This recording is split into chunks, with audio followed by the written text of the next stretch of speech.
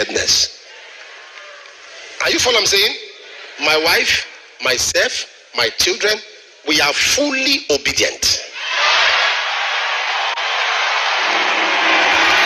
Listen. Fully. 100%. Are you listening? Hey, listen to this.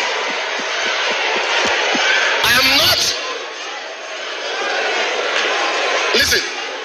We are not those who make noise on social media. Carry no. We work at the background. We support. We are fully. If you like, vote something else. Is see me. I hardly stay in the country. I hardly stay in Nigeria.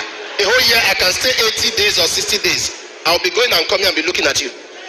You vote, if you go and vote nonsense, you vote insecurity, tribalism, bigotry, ethnicity, if that's what you're going to vote. Are you following me? Listen to me. I'm saying this. You know, I don't talk like that. But I'm telling you the truth. My wife is here. Me, I'm here. I'm, I will never. I have friends across the divide.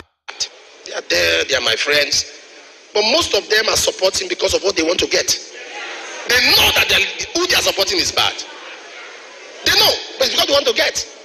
For you to support a man and you have nothing to gain, it shows that you are honest.